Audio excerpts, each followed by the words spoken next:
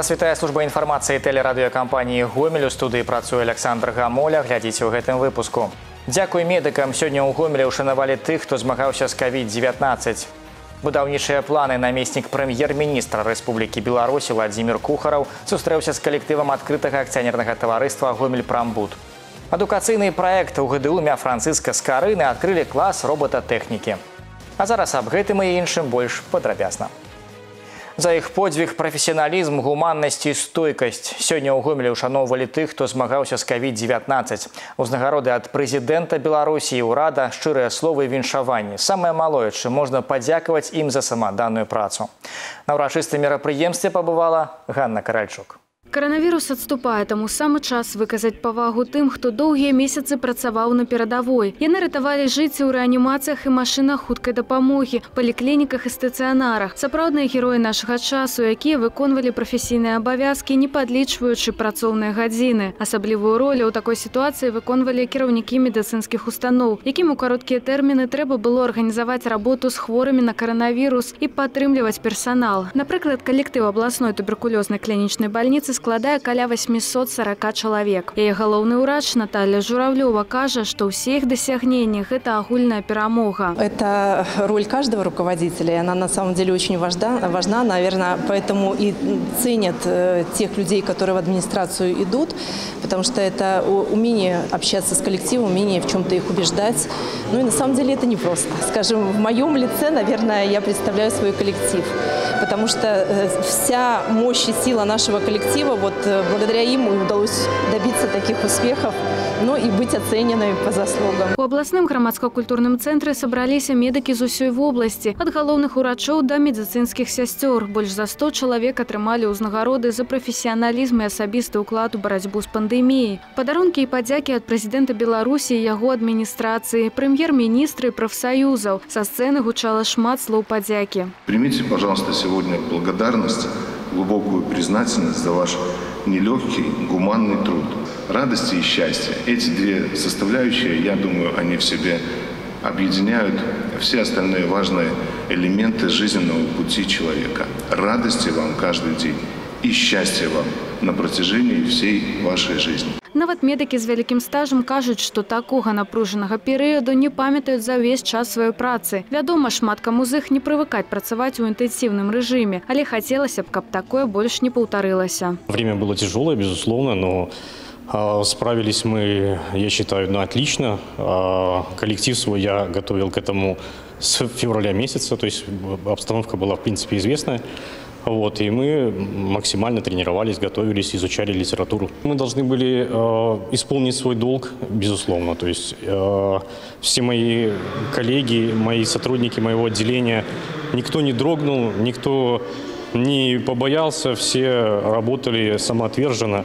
А помогала, как всегда, да, то есть, ну, семья, дружба. Медицинская супольнасць як ніколі аб'ядналася, каб супрацьстаяць вірусу новага часу. Не падвялі самі беларусы. Вялікую падтрымку ўрачам аказалі прадпрыемствы і прадстаўнікі бізнесу, установы адукацыі, валанцёры. Адны рыхтавалі гарачыя абеды, іншыя дапамагалі фінансава, а таксама шылі маскі і рабілі ахоўныя шчыткі. За актыўную грамадзянскую пазіцыю гэтыя неабыякавыя людзі атрымалі ганаровыя граматы ад гомельскага абалвыканкама. Аднак расслабляцца рана трэба і да далей берагчы здароўя, клапаціцца пра сваіх блізкіх. Гэта будзе лепшай падзякуй урачам. Гана Каральчук, Андрей Іванов, тэлерадыёкампанія Гомель.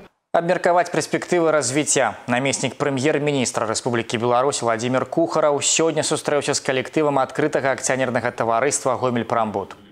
У наступную пацігодку будаўнікоў чакаюць вялікія задачы. Менавіта так Владзімир Кухараў акрэсліў планы на будучыню для работнікаў галіны. Асноўныя напрамкі будаўніцтва індывідуальнага жылля і сацыяльных аб'ектаў, падтрымка шматдзетных сем'яў. Што тычыцца жыллёва-камунальнай гаспадаркі, упор робіцца на капітальны рамонт. Намеснік прэм'ер-міністра адзначыў, Гомель-Прамбуд стане надзейнай апорай дзяржавы, каб рэалізаваць вызначаныя праекты.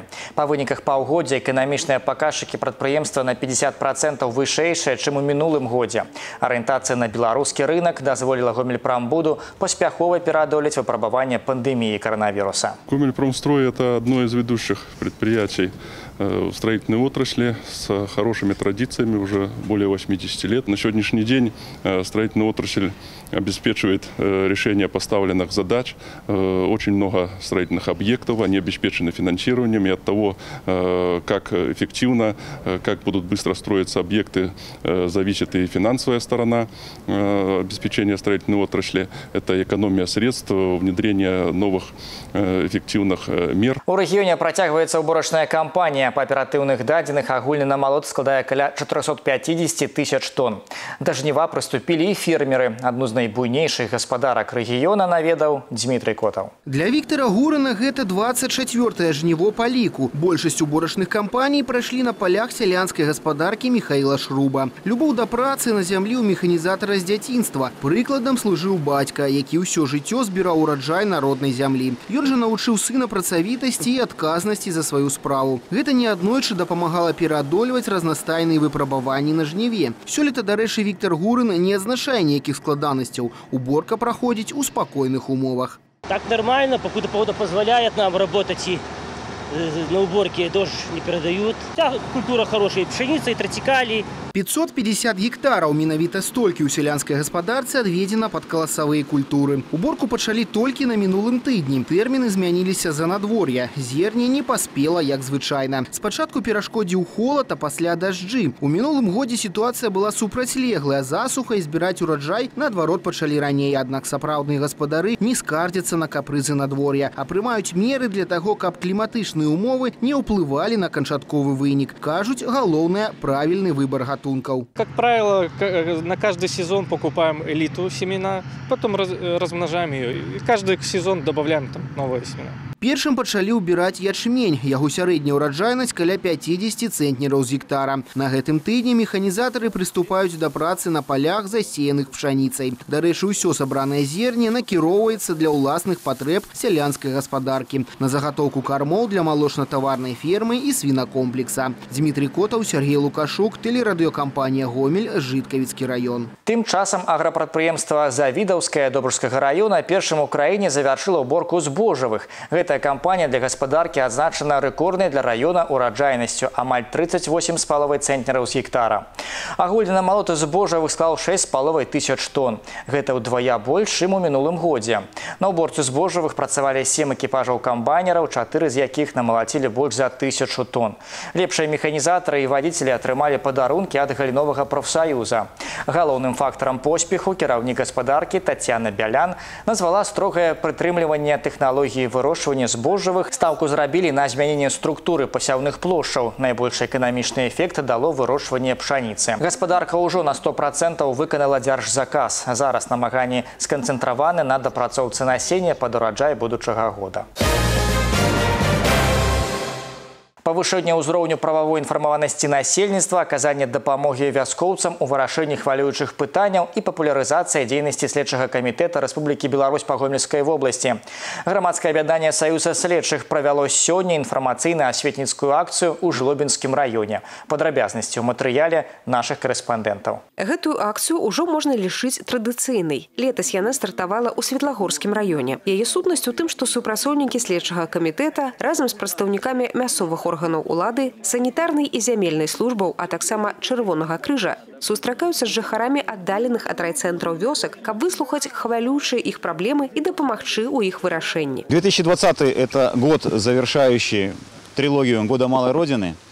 И в этот год, конечно же, надо ответить на вопрос, успел ли ты что-то сделать, доброе дело для своей малой Родины. Именно по этой причине Гомельское областное общественное объединение «Союз следователей» э, приняло решение продолжить тради, уже традиционно продолжить мероприятие, называемое информационно-просветительское, для того, чтобы приехать к жителям малых деревень и поинтересоваться, какие вопросы у них есть, как они живут, і чым мы сможам ім памочь. Праблема, якая агучваецца бадай найбольш часта якасць вады ў калодзежах. У вёсках з невялікай колькасцю насельніцтва карыстаюцца імі рэдка, а таму паступленне свежай вады мінімальнае. Падчас наведвання такіх населеных пунктаў з калодзежаў бяруцца пробы. Вынікі даследаванняў жыхарам абавязкова паведамяць. Апрача таго агучваюцца праблемы асабістага характару. 82гадовая Алена Дробная просіць дапамагчы ёй трапіць у гомельскую больніцу, каб атрымаць дакументы аб інваліднасці. Некоторые получают люди группу, получают баллон менее платят, свет. А я ничего это не пользуюсь этим ничем. А вы знаете, чтобы группу получить, надо обращаться в больницу? Ой, я обращалась, приезжали ко мне три врачи, поговорили, поговорили, сели и поехали. И все. А Никакой ни группы, ничего. Нет. Надо ехать в Гомель, Ну, а кто Гомель- меня повезе? Адна з задач правядзення акцыі аказанне медыцынскай дапамогі насельніцтву. Перш за ўсё размова ідзе аб прафілактыцы захворванняў. Прапановы прайсці абследаванне ад прадстаўнікоў абласной арганізацыі чырвонага крыжа гучаць падчас наведвання домаўладанняў і малочных ферм. Бадай адзінае, ад чаго ў жлобінскім раёне адмаўляюцца ўсе вяскоўцы здаць ананімны тэст на ВІЧ. Разам з тым па статыстыцы сусветнай арганізацыі аховы здароўя сёння ВІЧ-інфекцыя займае пятае месца сярод прычын смяротнасці. Больш ахвотна людзі пагаджаюцца вымераць артэрыяльны ціск і тэмпературу цела, а таксама ўзровень кіслароду ў крыві. Добрыя вынікі аказваюцца не ва ўсіх. Людзям неабходна больш уважліва ставіцца да ўласнага здароўя. Сегодня также мы рассказываем о первой помощи, какую необходимо оказывать в случае возникновения различных ситуаций. Раздаем информационные листовки для того, чтобы человек знал, что делать, если рядом экстренной помощи нету, и пока ожидаешь врача, что можно сделать в первую очередь. Арганізаваная грамадскім аб'яднаннем саюз следчых інфармацыйна-асветніцкая акцыя працягваецца ўвесь дзень. Частка агучаных жыхарамі аддаленых вёсак пытанняў вырашаецца на месцы. Некаторыя бяруцца на кантроль. Праўда, праблемы, якімі займаецца непасрэдна следчы камітэт, на гэты раз не гучалі. У плане захавання правапарадку сітуацыя ў вяскоўцаў заклапочанасці не выклікае. Алексей Сенсюров, Ольга Канавалова, Валерый Гапанько, тэлерадыёкампанія Гомель, Жлобінскі раён. Сёння ў аграгарадку Пакалюбіча адбылося пасяджэнне маладзёжнага савета, створанага пры гомельскім раённым савеце дэпутатаў. Удзел у яго рабоце прыняў дэпутат палаты прадстаўнікоў нацыянальнага сходу Ігар Завалей. На сустрэчы сабраліся самыя актыўныя і нераўнадушныя прадстаўнікі маладога пакалення раёна. Маладзёжны савет як форма работы, на думку Ігара Завалея, дазваляе моладзі удзельнічаць у прыняцці важных для мясцовасці рашэнняў, дапамагае данесці да мясцовых уладаў іх жаданні і ідэі. Падчас сустрэчы парламентары расказаў удзельнікам аб сваёй рабоце ў палаце прадстаўнікоў, а таксама даў параду, як працаваць больш эффектыўна. Самый главный совет, самый главный, который э, дает результат, результат в любом случае, это каждый день общаться э, с населением. А В их случае это именно с молодежью. В моем случае это с избирателями от округа. И здесь ты проникаешься всей этой проблематикой, ту, которую ты можешь потом реализовать и исправить на законодательном уровне. Потому что э, все мы прекрасно понимаем, что э, законодательный процесс, он очень тяжелый, делается профильными министерствами. Но иногда они не видят вот эти подводные камни здесь, на местах, в обычной деревушке, с которыми стал- сталкивается мол- молодой человек. И наша задача, как депутатов, отстаивать интересы населения на всех уровнях, будь то местная исполнительная власть или законодательная. Роботатэхніка адзін з самых перспектыўных напрамкаў адукацыі будучыні і ў нашым рэгіёне развіццю гэтага тренда надаюць асаблівую ўвагу. Яшчэ адзін робаклас гомельскага тэхнапарка з'явіўся ў ГДУ мя Францыска Скарыны.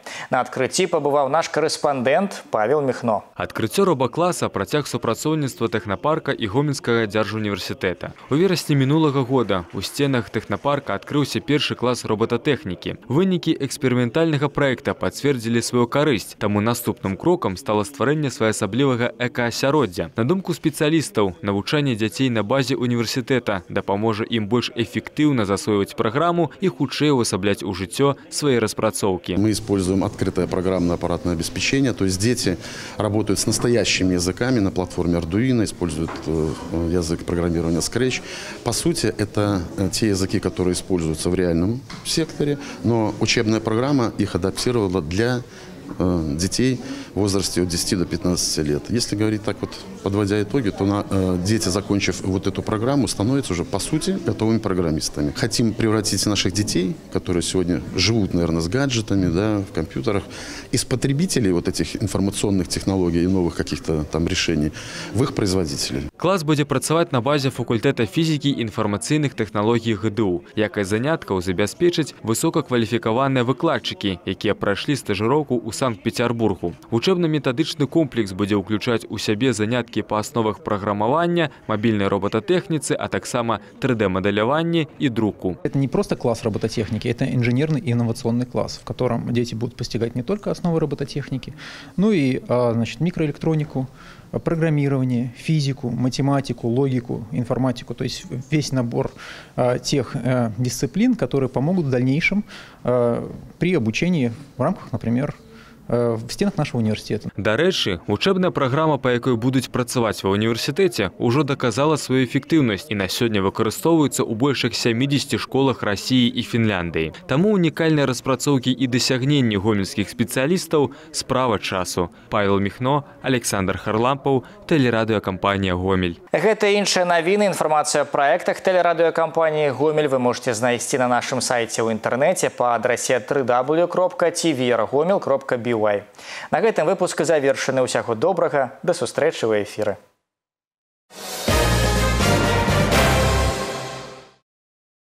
Де-факто на телеканале «Беларусь-4» в студии Николай Скинтиян. Здравствуйте. 13 административных протоколов за попытку скрыться от преследования ГАИ и нарушения правил дорожного движения. В Гомеле бесправник на каршеринговом автомобиле уходил от погони на скорости 150 км в час. Машину, которая в темное время суток двигалась без включенного ближнего света фар, инспекторы заметили на пересечении улицы Советской и проспекта Победы. На требования об остановке водитель не отреагировал, а лишь прибавил газу. Иногда скорость доходила до 150 км в час. Но свернув во двор, водитель попал в тупик. Выскакивал нарушитель на ходу. А вместе с ним стрекача дали и пассажиры. Машина же врезалась в припаркованное автомобиле. Оказалось, что в аренду ее взял 19-летний бесправник. Юноша зарегистрировался по чужим документам. Менее недели назад сотрудники ГАИ уже задерживали молодого человека за управление автомобилем без прав. Тогда он управлял машиной того самого друга, по документам которого на этот раз взял каршеринговое авто. В Гомеле сотрудники ОМОНа пошли на штурм квартиры наркодилера через балкон. Тактически это оказалось проще, нежели врываться через входную дверь. И быстрее, ведь взбираться сотрудникам пришлось всего-то на высоту второго этажа. Сделали они это при помощи приставной лестницы, а дальше уже дело техники. Подозреваемый на полу. В целости и сохранности улики. 50-летний мужчина не успел избавиться от 500 граммов марихуаны, которую хранил в банке на кухне. В поле зрения оперативников гомельчанин попал после того, как продал 5 граммов дурмана. Сотрудники наркоконтроля предположили, что дома у наркодилера могут храниться запасы. И не ошиблись. Сырье он выращивал на даче, а в квартире хранил семена конопли. До 8 лет лишения свободы – такова перспектива уголовного преследования. Подобрала кошелек и стала фигуранткой уголовного дела о краже. Гамельчанка не предприняла никаких попыток, чтобы вернуть портмоне владельцу и попала под статью. А все произошло на парковке возле рынка. Две машины стояли рядом. К одной из них подошел владелец и, когда садился, выронил свой кошелек. Следом за ним шли мужчина и женщина. Та заметила выпавшую вещь, подняла ее с асфальта, но догонять хозяина не стала. Портмоне находились 2200 долларов, 260 белорусских рублей и банковские карточки. Его владельцем оказался работник сферы IT. После пропажи он заявил в милицию. Преступление было раскрыто благодаря камерам видеонаблюдения. Напомним, присвоение в общественном месте чужой потерянной вещи может быть расценено как кража. На Гомельщине в очередной раз сгорела иномарка. На этот раз пламя охватило автомобиль «Рено Лагуна» в Светлогорске. ЧП произошло на улице Калинина. Огонь вспыхнул под капотом. 55-летняя хозяйка при помощи проводов-прикуривателей пыталась завести двигатель своей машины. По одной из версий, это могло стать причиной возгорания. Дорогая ошибка. Милиция разыскивает мужчину, которому в банке вместо польских злотых случайно выдали британские фунты стерлингов. Мужчина хотел купить польскую валюту в отделении банка по проспекту Ленина, 19 в городе Гомеле. Но вместо 250 злотых кассир выдала клиенту 250 фунтов. В эквиваленте это около 750 белорусских рублей. Мужчина разыскивается. В милиции просят обращаться по номеру телефона, который сейчас на экране, или звонить на прямую линию милиции 102. Это вся информация выпуска. Оставайтесь на Беларусь 4. На телеканале «Беларусь-4 Гомель» новости спорта в студии Максим Савин. Здравствуйте. Уже неделю гомельская мини-футбольная команда ВРЗ готовится к старту грядущего чемпионата Беларуси. Серебряный призер национального первенства в этом межсезонье по своим меркам значительно обновил состав. Покинули команду, напомню, Вячеслав Григорьев, Артем Золотухин, Михаил Зарубович, Евгений Рогачев и Станислав Лемешко. В новичках белорусы Сергей Давидович из Борисова 900 и Дмитрий Шимановский из УВД «Динамо». Дебютирует в будущем сезоне в белорусском чемпионате россиянин Роман Ананьев. В Гомеле игрок перебрался из Санкт-Петербурга, где выступал за команду «Ажио». Напомню, что в феврале этого года по такому же маршруту проследовал еще один россиянин Кирилл Осиновский. Серьезное усиление вагоностроители получили в лице опытного украинца Максима Воронина. Последний сезон игрок провел в чемпионате Казахстана в рядах Октобе. До этого выступал за Литсельмаш, с которым трижды становился чемпионом Беларуси. Чемпионский опыт украинца, несомненно, будет полезен в РЗ. Я и хочу это, привнести ребятам эту уверенность, что уже надо пора себя психологически перебарывать, да, и я думаю, что от меня это чуть-чуть уверенность пойдет, и они подхватят ее, да, и мы завоюем это долгожданное чемпионство. По словам главного тренера ВРЗ Анатолия Яновского, этими переходами селекционная работа нынешним летом, скорее всего, и ограничится. Однако и новых подписаний главком исключать не стал. К новому сезону, который стартует в первые выходные сентября, команда будет готовиться в Гомеле. Первый спарринг запланирован на 15 августа. Соперник – Гомельская БЧ провели втягивающий микроцикл на стадионе «Локомотив». Сейчас на данный момент приступили к первому сбору, где акцент в основном делается на общую силовую выносливость, постепенно увеличиваем нагрузки, ну а также э, совершенствуем командное взаимодействие. Планы на будущий сезон игрокам и тренерскому штабу команды озвучат ближе к старту чемпионата. Сами же вагоностроители задачи определяют просто – показать свой максимум. Ряды БЧ пополнили два игрока, оба хорошо знакомы гомельским любителям мини-футбола. Станислав Лемешко сменил цвета вагоностроителей на цвета железнодорожников. В составе ВРЗ футболист провел пять сезонов. Также в его послужном списке значатся выступления за Витен и Гранит. В стане ВРЗ выступал еще один новичок БЧ, голкипер Вадим Лишкевич. В высшей лиге национального чемпионата игрок защищал также цвета Борисова 900, Базара, ЦКК и Витена. Виктор Скрипак возвращается. Украинский линейный подписал соглашение с мужским гандбольным Гомелем. Игрок ранее уже выступал в составе гомельской дружины в сезонах 2017-2018 и 2018-2019. Сотрудничество с командой продолжит и белорусский голкипер Павел Ярошук. На этом пока все. С новостями спорта вас знакомил Максим Савин. Оставайтесь на Беларусь 4.